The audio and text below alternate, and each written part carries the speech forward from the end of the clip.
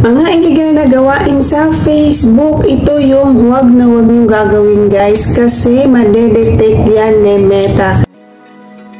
Open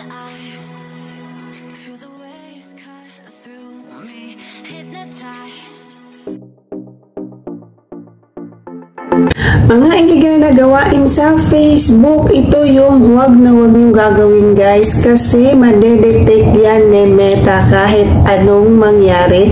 Kung hindi man kayo na-detect ngayon, baka bukas sa makalawa at sa sunod na linggo at sa susunod na buwan, madedetect kayo niyan guys. Ito yung una, watch to watch. Sino yung mga member dyan ng watch to watch? Yun yung sumasali sa grupo. Minsan guys, may nag invite na grupo sa inyo at nag-offer ng watch to watch. Yung panoorin nila yung video mo at panoorin mo din yung video nila. Madedetect yan ni Meta guys sa katagalan. So, much better na mag-upload na lang kayo ng mag-upload para mapansin kayo ni Meta.